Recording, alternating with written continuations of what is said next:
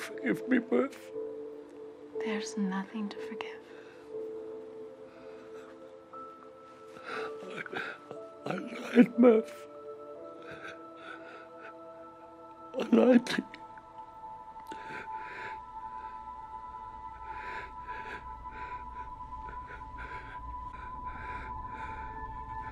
There was no way to help us. But Plan A, all these people, mm, the equation. Did my father know?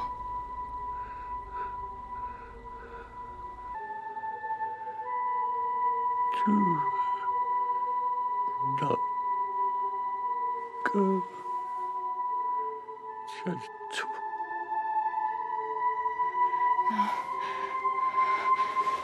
No. You can't leave. You, no. Okay, 2019. Let's do 2019. I'm going to show you a couple ones that are not in the, the Jewish Virtual Library or Wikipedia, and these are for uh, January 2019. So the first one is January 8th, 2019. Uh, Iron Dome intercepts rocket. IF retaliates against Hamas military training camp. According to Israeli Defense Forces in the south, Air Force fighter jets and helicopters attacked several terror targets Who at in- Hamas what training camp in the northern Gaza Nothing. Strip overnight, following a rocket fired from Gaza into Israel. Why the rockets going up and then exploding into the air? There's swooping up, exploding, unprompted explosions. The Iron Dome missile defense system above Ashkelon intercepted the rocket a little after 3 a.m. on Monday to the sound of red alert sirens. No injuries were reported, though, but regardless, the IDF holds Hamas responsible for any incursion of Israeli sovereignty. So the, so Israel retaliated, blew up a bunch of stuff for that, for a bunch of missiles swooping up and exploding in the air, and they didn't even have explosions. It was just fireworks. This latest attack comes less than a day after a drone shaped device and a large bunch of balloons carrying explosives Drone-shaped device. It was a drone-shaped device and a bunch of balloons. landed in the carrot field Landed in a carrot field. So a drone-shaped device. They didn't say it was a drone. They said it was a drone-shaped device and a bunch of balloons. Landed in a carrot field, and therefore we need to retaliate and blow up a bunch of Hamas leaders because of this. Southern Israel on Sunday morning. When police bomb sappers examined the drone lookalike, which bore the name of Gaza's engineering college on the side, had the name of Gaza's engineering college on the side. Why would they do that? this makes no tactical sense for Hamas to do that unless this is a false flag. Okay, very clearly a false flag to me. it exploded. Thankfully, however, police reported no injuries. Wait, they had a bomb, bomb robot to pick it up, and they said it exploded, right? Examined the drone lookalike, which bore the name of Gaza's engineering college on the side, it exploded. Thankfully, however, police reported no injuries, and the IDF struck two Hamas military This is ridiculous. targets in the strip in response to this attack as well. But this is far from the only attack of this type. Hundreds, if not thousands, of incendiary balloons and kites have landed in Israel.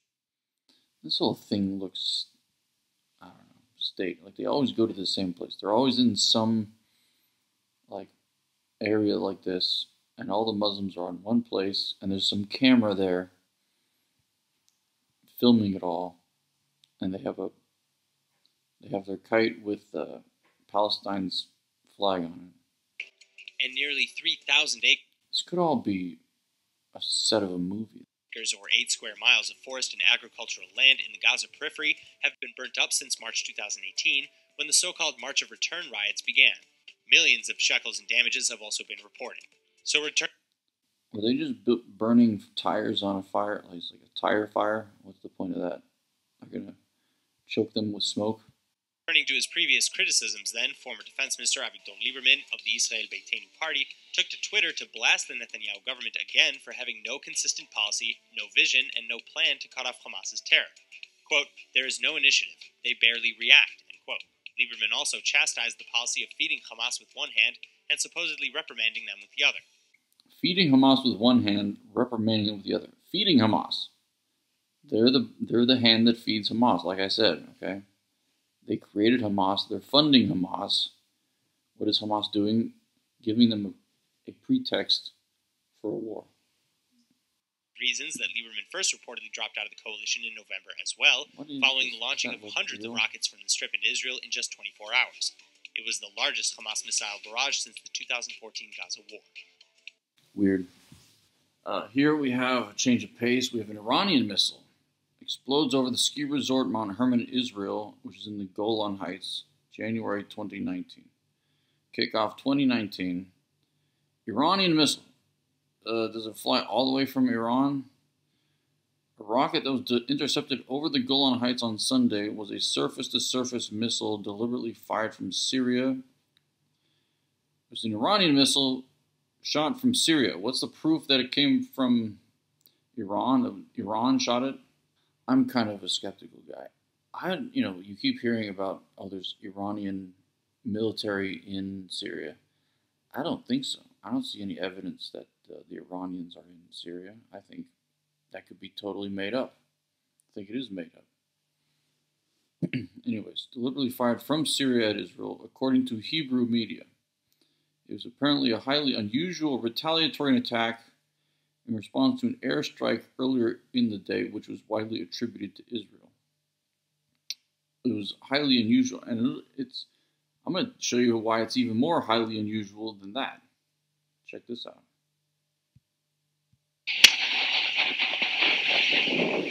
Some skiers skiing down. Suddenly, they're going to watch a rocket intercept another rocket.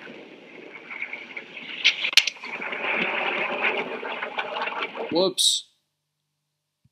As luck would have it, the uh, explosion happened off camera. You didn't actually see the, the interception, did you? Watch again. Uh, see, it's off camera right when the interception happens, when the explosion happens. Oh, shucks. We, we missed another interception. And then it comes back right after, and you can see that the quote unquote missiles, I'm using hand gesture quotation marks right now, okay? Unfortunately, you can't see my hands, but just know that I'm using hand gesture quotation marks. The after the quote unquote interception, uh, you can see the missile streaks keep going. Why? Because I don't think these are missiles. I think these are just airplanes. They just recorded some airplanes and added an explosion. Look, it's still going. Both of them are still going. Because those were airplanes. Listen again. Watch again.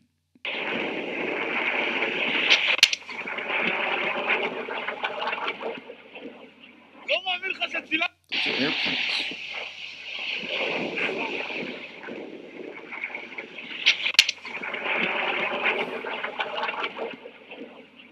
No sound effect. January 20th.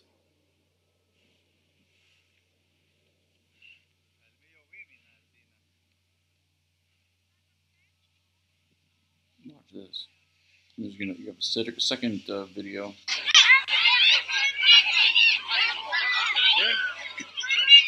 You still see an explosion cloud. And then, and then they go, oh look, see the dot? That's something. I don't know what they're pointing at. That's supposed to be the explosion.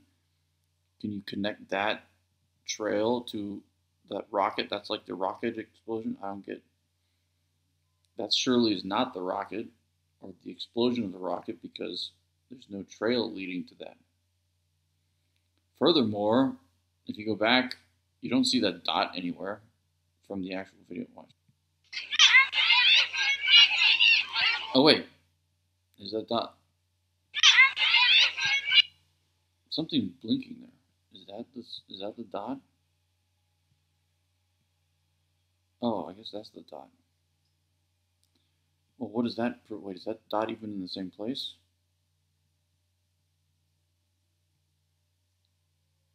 I guess so. Why is it blinking? It's like blinking. It's two dots, and there's no sound.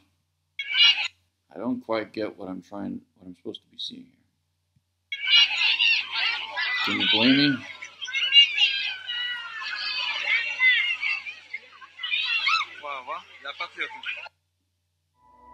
Dot.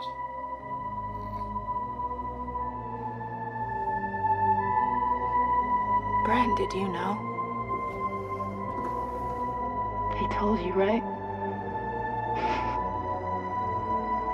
You knew. This was all a sham. This is in retaliation. This is January 21st, immediately after that ski resort footage you saw. Israel strikes Iran in Syria after Iran launches rocket at Israeli ski resort. Well, first of all, the rocket went over the ski resort. I don't know why it says at the ski resort. You saw the video. It was uh, a couple of airplanes. CBN News. Good. They're lying for the lying for Israel.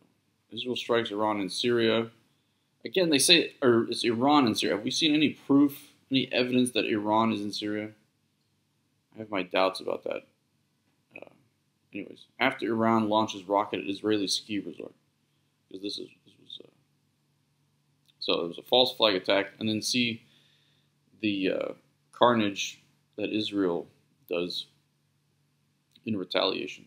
The IDF said its fighter jets struck Iranian Quds forces' military targets in Syria and Syrian aerial defense batteries and released this footage of two of the strikes. This map shows Iranian and Syrian sites targeted outside of Damascus. The IDF. So the purple is a, a Quds force target, and then the red is a Syrian air defense system target. So that's Syrian, that's Iranian. We're led to believe. I don't. I don't see any evidence Iran is in Syria.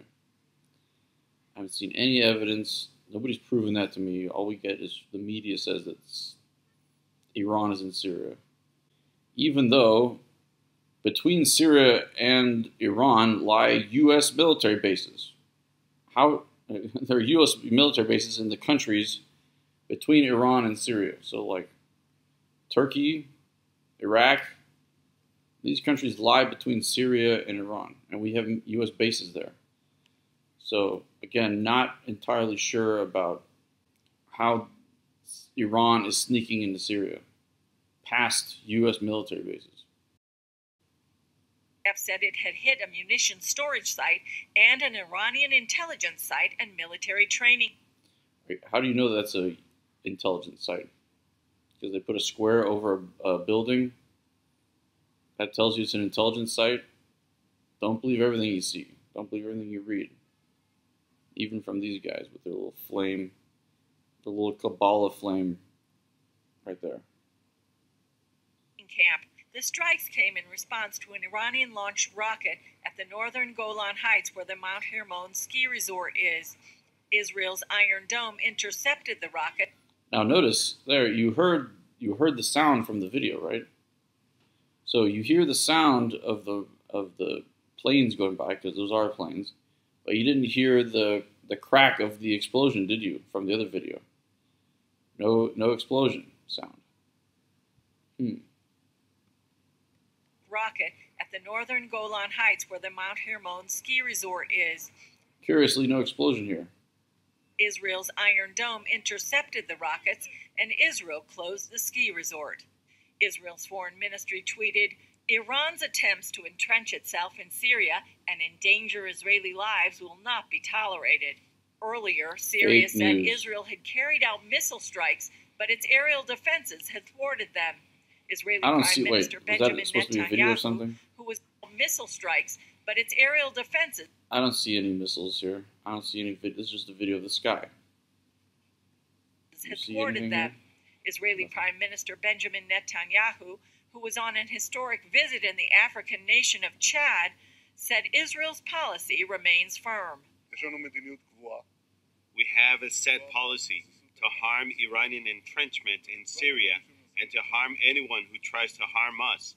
This policy doesn't change when I'm in the country, and it also doesn't change when I'm making What language is he speaking? Is he speaking Hebrew? If so, he's speaking a language only only the Jews may or may not know. Most Jews don't even know Hebrew. So I don't know what language he's speaking.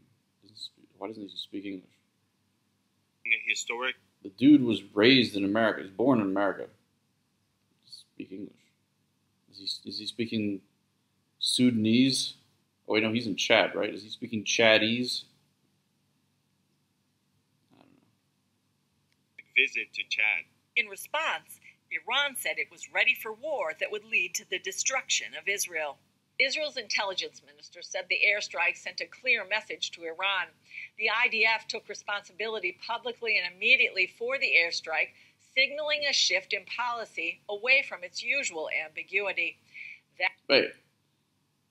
IDF took credit for the uh, the attacks. So Israel took credit for the attacks. Change of pace from their, their normal policy is not to take credit for any bombs.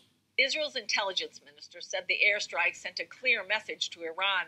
The IDF took responsibility publicly and immediately for the airstrike, Wait a second, and that's a shift in policy. So they don't usually immediately take responsibility for an airstrike, like all the Muslims do every time. Every time without fail, the Muslims immediately take responsibility for every little firecracker that goes towards Israel or anywhere. Or 9 11 attacks, they immediately take responsibility. Israel does not. Why? Because they're actually following some kind of strategy because taking credit for or just saying, hey, I did it, is not a good military strategy. Hmm.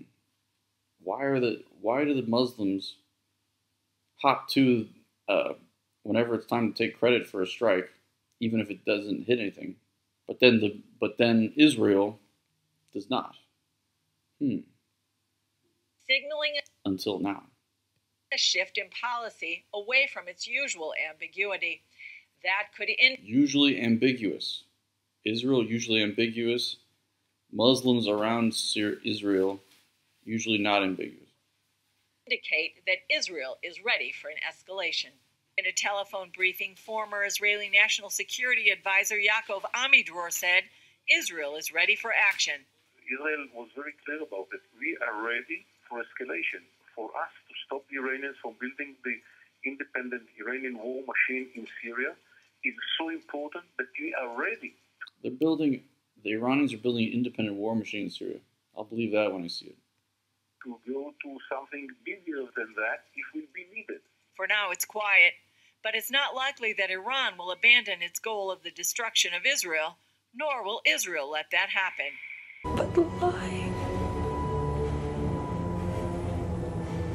That monstrous lie. Unforgivable. And he knew that. He was prepared to destroy his own humanity